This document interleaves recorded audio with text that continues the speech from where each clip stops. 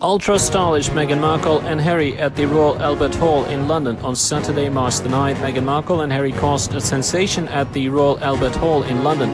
The couple who attended the Mountbatten Festival of Music arrived dressed in red in matching outfits, uniform for gentlemen, evening dress for madam both reached the heights of elegance. It was hand in hand and all smiles that Meghan Markle and Harry arrived at the Royal Albert Hall in London on Saturday, March 7, passing through the United Kingdom to ensure their last engagements as senior members of the family. The parents of little Archie attended the Mountbatten Festival of Music, which brought together all the British Grattan, faced with controversy that doesn't spare the couple. Barely stepping on British soil, Meghan and Harry appeared more than accomplices, even their outfit. After the shades of blue for the Endeavour Fund Awards at the Mansion House, the Duke and Duchess of Sussex have this time made a much more flamboyant choice by opting for red.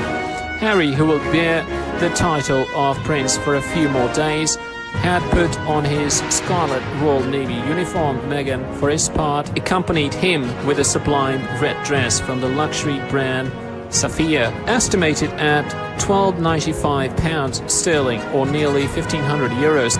To complete her look, the Duchess of Sussex wore a pair of Aquazzura pumps, a clutch by designer Manolo Blahnik, and a pair of Simone Rocha earrings, all in red of course. Royal or not, the couple retains at least its titles of nobility in terms of elegance.